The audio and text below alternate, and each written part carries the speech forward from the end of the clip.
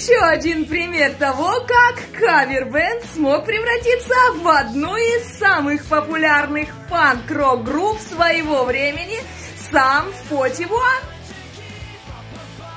Первую известность сам 41 получили в 1996 году на проекте Супернова. Это канадский аналог Украина Май таланты, Минута славы и тому подобное. А до этого это был обычный школьно-студенческий ансамбль под названиями Новск и Каспер, исполняющий кавера и особо ничем не отличающийся от других подобных коллективов. Но эти парни шагали в ногу со временем и еще до возникновения Ютуба познали все тонкости пранков.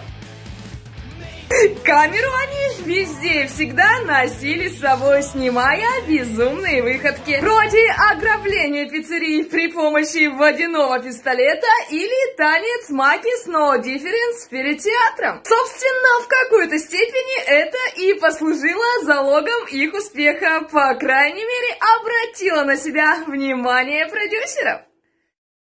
В начале нулевых в третью волну популярности панк-рока сам 41 подписывается на Island Records и становится одной из самых популярных панк-рок групп Канады того времени уже с первого альбома. На сегодняшний день на их счету 7 студийных альбомов, номинация на Грэмми и 7 номинаций на главную канадскую премию Juno Awards, где сам 41 дважды становились группой года, ну и еще 100-500 наград по мелочи.